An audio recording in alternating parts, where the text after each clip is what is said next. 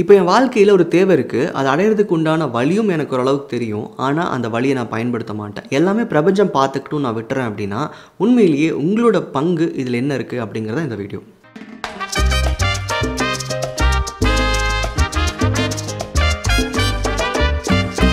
நம்மளுடைய தேவையை முன்னிறுத்தி ஒரு முயற்சிகள் செய்யும்போது நம்ம எண்ணத்தை ஒருங்கிணைக்கிறோம். நம்ம எண்ணங்கள் எல்லாமே நம்ம தேவையை மட்டும்தான் பார்க்கணுங்கிறக்காக இவ்வளோ ப்ராசஸும் பண்ணுறோம் அப்போது நம்ம தேவைகளை அறிஞ்சு நம்ம செயல்படுறதுனால நம்ம கேட்குற விஷயங்கள் நமக்கு ஈஸியாக கிடைக்குது. அதாவது இந்த யூனிவர்ஸ் வந்து நம்ம கேட்குற விஷயங்களை கொடுத்துக்கிட்டே இருக்குது அப்போது இதை வெறும் ஒரு பயிற்சியாக பார்த்தீங்க அப்படின்னா நீங்கள் எல்லாத்தையுமே பிரபஞ்சம் பார்த்துக்கிட்டுன்னு விட்டுருவீங்க. ஆனால் உண்மை இங்கே என்னென்னா நிறைய விஷயங்கள் நம்ம கண்ட்ரோலில் இருக்குது நம்ம மாற்றிக்க முடியும் அப்படிங்கிறப்போ நம்ம பங்கு என்னவோ அதையும் சரியாக செய்யணும்.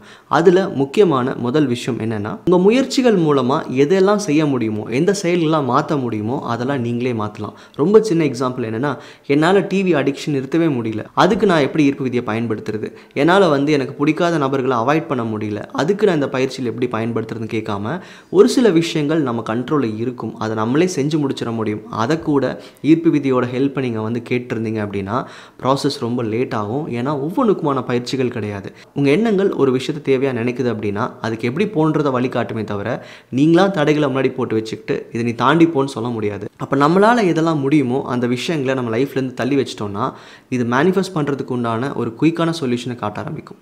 அடுத்த விஷயம் ப்ரிப்பேர் டு ரிசீவ் அதாவது ஒரு தேவையை நீங்கள் அடையிறதுக்கு முன்னாடியே அதுக்கு தகுந்த மாதிரியான மனநிலையோ இல்லை சூழ்நிலையோ நீங்கள் மாற்றிக்கிறது தான்.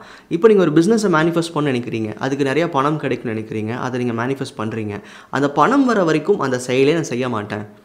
அது எந்த ஒரு தொடக்கமும் நான் வச்சுக்க மாட்டேன். பிஸ்னஸ்க்காக எந்த பிளானும் பண்ண மாட்டேன். பணம் வந்தால் தான் நான் பண்ண முடியும் அப்படின்னு இல்லாமல் உங்களால் இன்றைக்கி என்னெல்லாம் ப்ரிப்பேர் பண்ண முடியுமோ பிஸ்னஸ் சம்மந்தமாகவோ இல்லை வந்து ஒரு அக்ரிமெண்ட் சம்மந்தமாகவோ இல்லை இந்த பிஸ்னஸ்க்காக யாராவது போய் மீட் பண்ணணுமா இல்லை அதை பற்றி கற்றுக்கணுமா அதுக்கான முயற்சிகள் இன்றைக்கி ஆரம்பிச்சிருங்க. பணம் கிடைச்சாதான் பண்ணுவேன்னு சொல்லும்போது நீங்கள் வந்து ஒரு விஷயத்த கையில் வாங்கிக்கிறதுக்கு உண்டான மனநிலை உங்களுக்கு இருக்காது. அதுக்கான ப்ரிப்ரேஷன் உங்ககிட்ட இருக்காது.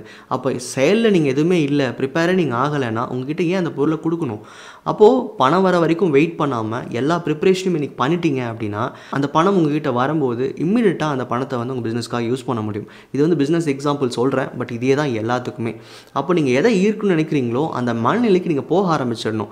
இன்னும் வந்து எனக்கு வந்தால் தான் நான் மாறுவேன் இல்லாமல் அதுக்குண்டான மாற்றங்களை நீங்களே ஏற்படுத்திக்கலாம். இதுக்கு நீங்கள் ஈர்ப்பு விதி நம்பிட்டு இருக்க வேண்டிய அவசியம் கிடையாது. கடைசி விஷயம் இந்த எல்லா மாற்றங்களும் நீங்கள் தான் நிகழ்த்துறீங்க. உங்களுக்குள்ளே தான் நடக்குதுன்றதை நீங்கள் புரிஞ்சுக்கிறது தான் ஏன்னா நம்ம வந்து கடவுளை கும்பிடும் போதும் சரி இந்த மாதிரியான பயிற்சிகள் இருக்கும்போதும் சரி நீங்கள் ஏதோ ஒரு இன்னொரு நபரையோ இன்னொரு சக்தியையோ நீங்கள் கேட்குற மாதிரி இல்லை. இது உங்களுக்குள்ளே நடக்கிற மாற்றங்கள். சக்தின்றது உங்களுக்குள்ளே தான் இருக்குது அந்த பவர்ன்றது உங்களுக்குள்ளே தான் இருக்குது இந்த மாற்றங்களுக்கான காரணமும் நீங்கள் தான் அப்படிங்கிறத நீங்கள் புரிஞ்சுக்க ஆரம்பிக்கணும்.